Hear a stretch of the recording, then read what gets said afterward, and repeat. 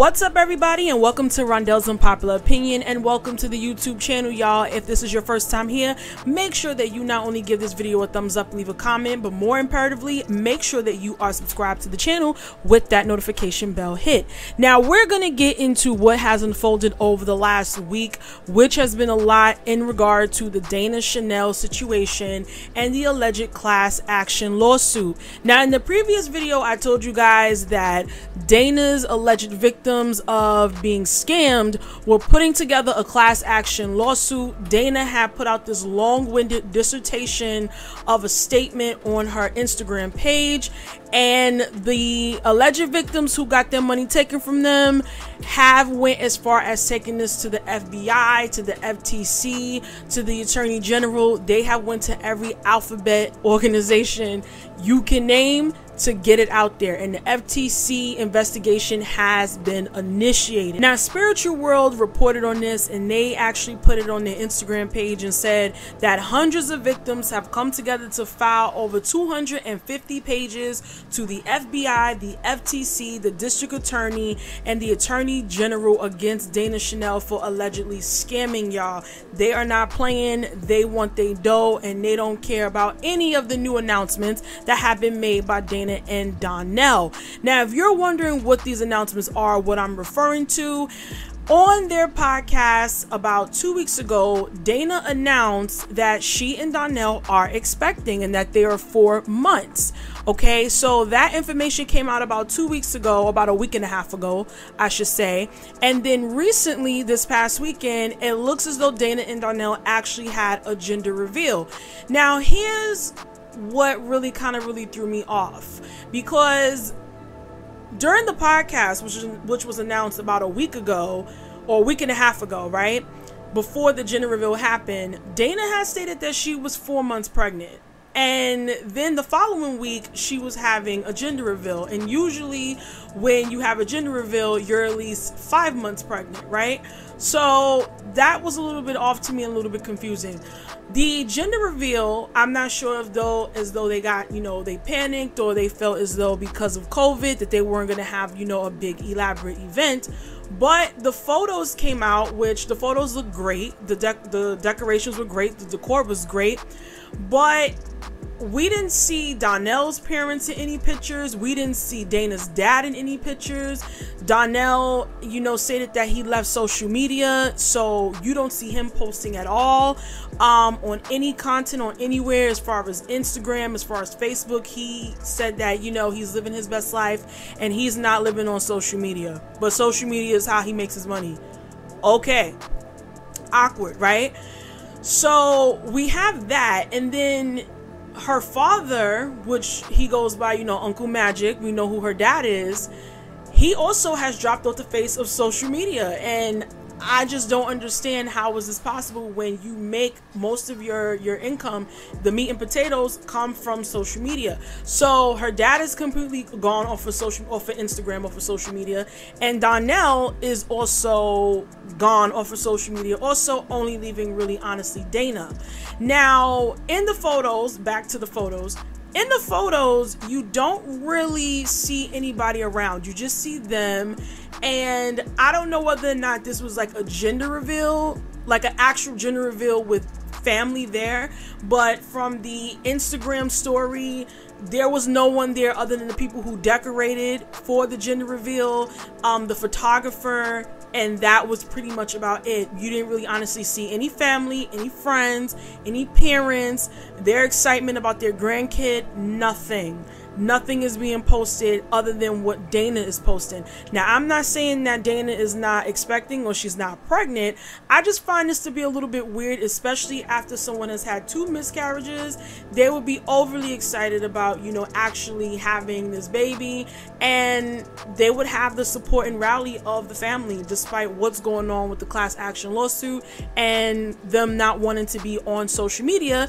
They would at least want to be in your pictures. So that was a little bit weird to me. Now, we don't only have the class action lawsuit that seems to be taking place in the very awkward gender reveal that actually also took place, we now have Don's former best friend for about 10 years speaking out on his experience with Donnell and Dana. And he pretty much took to his social media, went on Instagram, made this IGTV post about Don and Dana and how basically they stole his idea and went on to scam with it. So I'm going to let you guys listen in and pretty much make your own conclusion about this, but take a listen to what he actually had to say. Friend, shouldn't she want to help you because she cares about you? Why do everything gotta have a fucking contract with it? Loyal to them than he would to me. So y'all know what I did, Yama. I called his mama, Miss Alicia. Hey, Miss Alicia. By the way, Miss Alicia, Donnell's mom, that was like my mom at one point. She would come over, clean our house for us, all that stuff, right? So I hit up his mom and I'm like, I'm like, I'm like, mom. Well, now she's Miss Alicia. I don't call her mom anymore because she she clearly disowned me as her like big son. So I said, Miss Alicia. I said, Miss Alicia, you know your son just signed a 360 contract with a girl he only knew for fucking four or five months. His mom called him and cursed his ass out. Like she didn't want nothing to do with Dana. She thought this this this shorty was just a scammer, whatever. Wow. The answering my phone calls anymore. He was texting me back like every two three days. They wasn't inviting me down to the office no more. Like their whole vibe changed when I didn't want to give them fifty percent of my business. So then I started noticing them some things. Some of my vendors that I use when I fix credit, I started seeing Uncle Magic's email pop up on the CC emails. So I'm like, yo, this man literally took everything that I ever said or did around him and went and tried to go start his own shit. So I wanted to test him, right? So I asked I know, I said, yo, bro, since I'm fixing your credit for free, can you um can you uh uh give me a shout out? Can you give me a shout out? Yeah, bro, I give you a shout out, don't worry about it. Then the next day, he's like, oh bro, I'm sorry I can't give you the shout out um, I, am in contract with another credit repair company, so I can't promote or endorse any other credit repair company besides this one. So I said, what are you talking about? You know what I mean? What are you talking about? So then he was like, oh, well, I, like we started our own, our own credit repair company, so we don't need you anymore. So I'm just like, wow. You let me fix your credit for free then you started your own credit repair company to lie and act like y'all were the ones that did that. And then you took my platform, my brand, and everything that made my company what it was. You try to steal it and create your own. And now everybody, like, if you go on the Dana scammer page, people are literally following lawsuits every day. They're filing FCCs, stuff like that. You know what I'm saying? So it, it, it's crazy how karma works. And and and I know if you're watching this right now, listen, I never wanted to see this happen to you, but I tried warning you. I told you, stop scamming people. I told you. I said, bro, if you would scam your own brother, then you would stop at nothing. And the fact that you started a tax business when I know for a fact you don't know shit about taxes. The fact that I was the last person, I did your taxes. I did your taxes. You were getting fined. You were, getting fined for not health, having health insurance. Like you don't know shit about taxes and you're starting a tax business. It's like, bro, money isn't everything. And because y'all love money so much, that's going to be your downfall. So I had to address that. Cause a lot of people been DMing me and asking me. So that's the story and I'm not going to talk about it no more. I'm not going to give them no more clout. That's what happened. If you guys, if you guys go and choose to still do business with them and they burn you for your money, don't, don't act like you didn't know. I, I told you. I told you. And I told people two years ago, two years ago, Two years ago, this went viral. Two years ago, when I made a post about this, it was all over Shade Room and Baller Alert and stuff like that. But then after a week, I let it go after a week, I let it go because I'm like, I can't heal from this unless I just walk away from it. But now that we're on the topic of Philly scammers, It's like people in Philly just don't do good business. That's why I left. I honestly believe if I meet 10 entrepreneurs in Philly, maybe only two of them do good business. The other eight, I'm good. That's why I had to move. That's why I had to move. I did not like the vibrations or the energies that was in Philly because every time I turned around, somebody was doing some nut shit. Every time I turned around, someone was stealing, hating on me, leaving, leaving fake reviews, and just doing a bunch of weird shit. And you know what's crazy, bro? You know what's crazy, y'all? I tried to collaborate with all the big credit repair companies in Philly. Cause you know what I said? I said, yo, we're all helping the same people. We're all trying to help black people. So why not? Let's just do one big ass event where anyone who comes to this event, we just give them all the knowledge from all our perspectives. Every time I try to set up something with the credit repair companies in Philly, they always feel like I have some fucking alternative motive. They always feel like I'm only doing this to spy on them and shit like that. And it's like, number one, I make more money than y'all anyway. Y'all can't, like, it's, y'all don't have anything that I want. See, this you guys gotta understand. When you already make money, you don't gotta steal nothing from anybody else. I don't gotta steal nothing from nobody else because I already get money. So I don't, and then that just puts out bad energy. Now, I have paid for courses and took what I learned and repurpose it for my content. Absolutely. Like, uh, like my man Doug. My man Doug, I paid $5,000 for his course.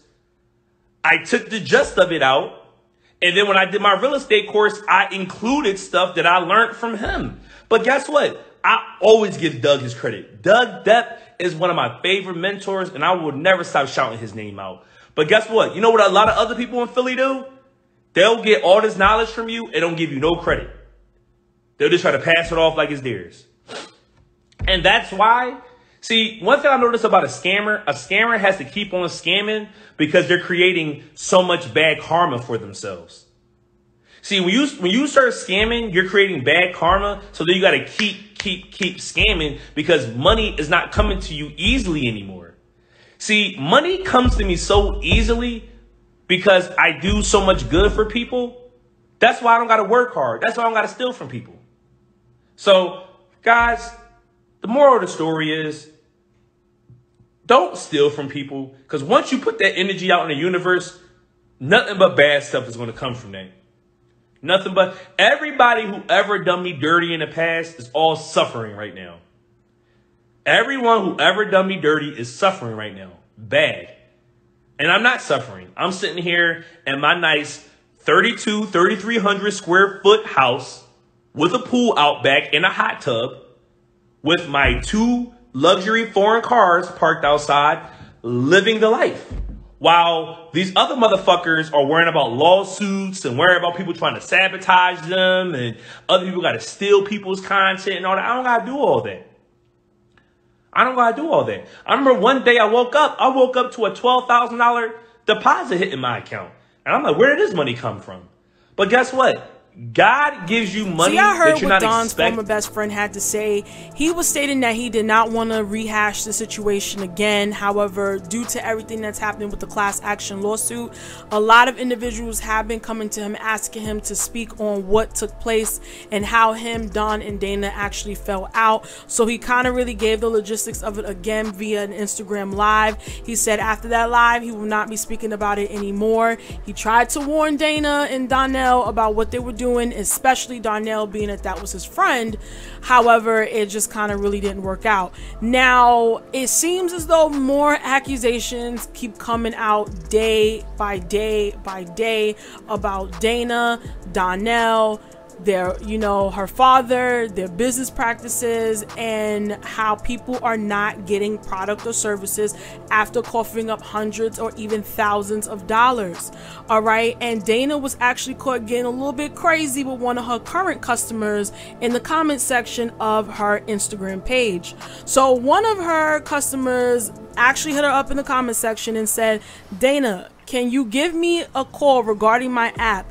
I have serious questions and have had no help dealing with your dad, sister, and Melanie. Thanks. So Dana responds, please email support at alakazamapps.com. Our manager will get back to you in the order your inquiry was received. She wrote back and told Dana, I've done that. I haven't gotten support. I need the app. Um, I need, and the app didn't meet the agreed upon deadline. So, right here, you can see Dana pretty much getting upset and said that this is not the proper channel of customer service. It is indeed after business hours, so you will not be responded to today. Please send in a customer service inquiry so we can better assist you directly. I ask that you respect our uh, business channels, our proper business channels, as you would Fashion Nova or Instagram. You cannot contact the founder and receive answers on an exact on your exact account via a comment on social media. We look forward to your inquiry and forward to assisting you in getting the help you need. So the customer responded back, This is what happens when customers go through proper channels and still do not get what they ask for. They reach out to the source. I'll file my complaint. Thanks, Casey. and she called about her government. So Dana had had enough at that point and said, This is what happens when black people don't respect other black businesses as if we are running some side hustle and you can tell us how to run business how you desire. There are proper, uh, there is a process and procedure, and unfortunately, I don't, can't, and will not help you through social media. But the team I've put in place can definitely help you and will answer your concern in the order it is received. Okay, here's the problem I have with that. Number one, I don't know where Dana has been, but Fashion Nova definitely does respond to their customers through the actual comment section. Another thing that they do is they ask for you to DM them so they can further look into your inquiry. I don't understand how this is considered proper customer service as someone who has been in customer service for 14 years and is a manager, how she felt as though this was actually helping her case. If I was Dana, I would have just told the customer to DM me so we can further take a look into what is going on versus going back and forth with the customer through the comment section that to me was pretty much in my opinion unprofessional and it didn't have to go down like that if the customer is telling you that they have reached out to your necessary channels or your proper channels and still haven't gotten business um you're choosing not to help them through social media. It's not that you can't, you just willfully just won't do it. Um, and in the climate that you're in right now, where you're actually having class action lawsuits filed, YouTube videos being done on you, and you know this, the best thing for you to do would have just said, DM me so I can take it from there instead of going back and forth with the customer through the comment section. With everything going on with these class action lawsuits, where you know you're under fire right now, I don't think it would be a good look customer service wise to be going back and forth in the comment section like we cannot see it because we definitely can see it. And I also don't understand how you're stating that social media is not the proper channels to address customer inquiries when you acquire your customers through social media, where you scout your customers and recruit your customers through social media. It just does not make sense. There's just a way to go about doing things. And like I said, 14 years within customer service. I pretty much would have just told the customer DM me and we can take it from there. It didn't have to be drawn out going back and forth. Black owned businesses didn't have to come into it. A lot of people use that as a, a scapegoat to, you know, justify the foolery and the fuckery that they do. But honestly, it's time to do right by our people. It's time to actually, you know, render product or service once they give us their, their hard earned money because we are the least progressed and the most economically disadvantaged, marginalized group in America, and we need to be doing right by each other. So, like I said in the other two videos, if these allegations are proven to be true in the court of law, there needs to be accountability from Dana. There needs to be accountability uh, with Donnell, and it needs to be uh, accountability with Dana's dad. All right, they need to pay up point blank and a period. But that's all I have for you guys today with this one. Thank you guys so much for tuning into this video. As always, like I said, I will keep you posted and give you updates on the situation. But I love y'all. Take care and have a good one.